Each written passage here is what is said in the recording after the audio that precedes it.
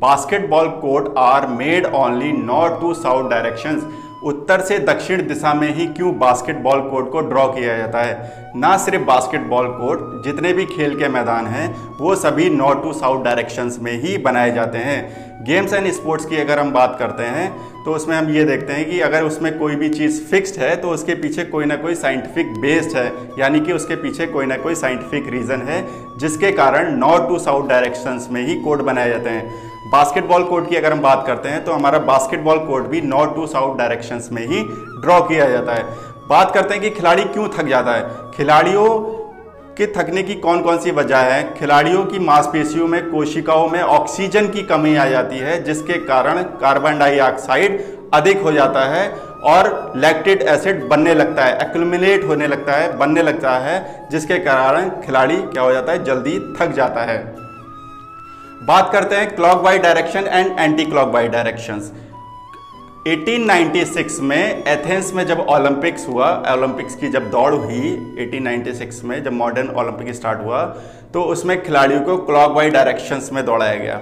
जब खिलाड़ियों को क्लॉक डायरेक्शंस में दौड़ाया गया तो खिलाड़ियों ने उसकी कंप्लेन की कि साहब, हमको इसमें दौड़ने में बहुत दिक्कत आती है।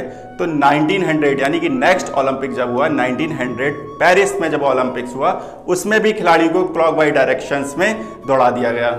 क्लॉक वाई डायरेक्शन में खिलाड़ी को दौड़ाया तो उसमें खिलाड़ियों ने फिर कंप्लेन की इसकी साहब, हमको इसमें दौड़ने में बहुत सी दिक्कतें आती हैं। तो 1904 यानी कि जब नेक्स्ट ओलंपिक हुआ 1904 सेंट लुइस अमेरिका का जब ओलंपिक्स हुआ तो उसमें खिलाड़ी को एंटी क्लॉक वाई डायरेक्शंस में दौड़ाया गया। जब खिलाड़ी को एंटी क्लॉक वाई डायरेक्शंस में दौड़ाया गया तो खिलाड़ी को कोई दिक्कत नहीं हुई। तब से लेकर आज तक हम एंटी क्लॉक वाई डायरेक्शंस में ही दौड़ते चले आ रहे हैं। कभी कभी आपने ये देखा होगा कि अपने बचपन में आपने मैग्नेट का यूज़ किया होगा। अगर आपने दो मैग्नेट को आपस में जोड़ने की कोशिश की होगी सपोज़ एक मैग्नेट का नॉर्थ पोल और दूसरे मैग्नेट का नॉर्थ पोल आपस में अगर आपने उसको जोड़ने की कोशिश की होगी तो आपस में नहीं जुड़े होंगे, आपस में रिपेल हुए होंगे, एक दूसरे से नहीं चिपके होंगे। तो टू नॉर्थ पोल और two south pole repel each other यानी कि अगर नॉर्थ टू नॉर्थ पोल को आपस में जोड़ने की कोशिश करेंगे तो रिपेल हो जाएँगे, एक दूसरे से रिपेल हो जाएँगे, वो नहीं जुड़ेंगे। एंड टू साउथ पोल अगर साउथ पोल को भी आप टू साउथ पोल को भी आपस में जोड़ने की कोशिश करेंगे तो आपस में वो रिपेल हो जाएँगे, एक दूसरे से अलग हो जाएँगे, एक दूसरे से चिपकेंगे नहीं नहीं जुड़ पाएँगे। ठीक है, पृथ्वी भी हमारी क्या है एंटी क्लॉक वाई डायरेक्शंस में ही घूमती है। हमारी जो पृथ्वी है, वो एंटी क्लॉक वाई डायरेक्शंस में ही, में मूव करती रहती है।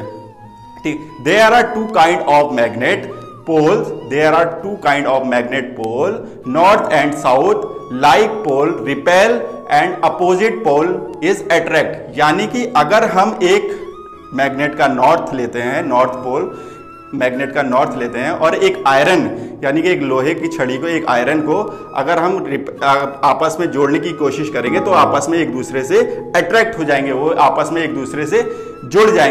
The north pole of the one magnet attract the south pole of another the south pole attract the north pole यानी कि जो नॉर्थ पोल है, वो साउथ पोल को अट्रैक्ट करता है और जो साउथ पोल है, वो नॉर्थ पोल को अट्रैक्ट करता है। यही सारा प्रोसेस हमारी बॉडी के साथ भी होता है। हमारी बॉडी में आयरन पिगमेंट्स होते हैं। यानी कि जो हमारी बॉडी में जो ब्लड है, उसमें आयरन पाया जाता है। आरबीसी में हीमोग्लोबिन होता है, जो हीम का मतलब आयरन और ग्लोबिन का मतलब प्रोटीन होता है। आयरन पिगमेंट्स क्या करते हैं? ये आयरन पिगमेंट्स हीमोग्लोबिन को ऑक्सीजन का ट्रांसपोर्टेशन का काम करते हैं due to this magnetic force क्योंकि जो हमारी पृथ्वी है, वो नॉर्थ पोल और साउथ पोल पर टिकी हुई है। उसका नॉर्थ और हमारे आयरन पिगमेंट का साउथ इस डायरेक्शन में अगर आप मूव करेंगे तो आपका जो ब्लड का सर्कुलेशन है, वो बहुत नॉर्मल चलेगा। यही एक कारण है जिसके वजह से बास्केटबॉल कोर्ट को नॉर्थ टू साउथ डायरेक्शन में ही ड्रॉ किया जाता है। ना सिर्फ़ बास्केटबॉल कोर्ट जितने भी हम गेम्स एंड स्पोर्ट्स में जितने भी कोर्ट्स देखते हैं, वो सभी नॉर्थ टू साउथ डायरेक्शन में ही बनाए जाते हैं due to this magnetic force जिसकी वजह से जो ब्लड का सर्कुलेशन है, वो बहुत सामान्य चले। बहुत से लोग ये बोलते हैं कि सन का इफ़ेक्ट पड़ता है सन की लाइटें सुबह बच्चों पे पड़ती है, इस वजह से हम नॉर्थ टू साउथ डायरेक्शन पे रखते हैं। नहीं, और कुछ लोग ये भी बोलते हैं कि हवाएँ पूरब से पश्चिम पश्चिम से पूरब चलती हैं। ये भी गलत है ये भी कोई रीज़न नहीं है साइंटिफिक बेस नहीं है, जिसके कारण से हम ये कह सकते हैं कि जो हमारा कोड है नॉर्थ टू साउथ डायरेक्शन में ही बनाया जाएगा। यहाँ तक कि अगर आप इंडोर कोर्ट का भी ड्रॉ कर रहे हैं, इंडोर कोर्ट को ड्रॉ करने की सोच रहे हैं तो उसका भी डायरेक्शंस आप नॉर्थ टू साउथ रखेंगे, क्योंकि due to this magnetic force जिसके वजह से जो ब्लड का सर्कुलेशन है, वो बहुत सामान्य हो। यही एक कारण है, जिसके वजह से basketball court north to south direction में बनाए जाते हैं।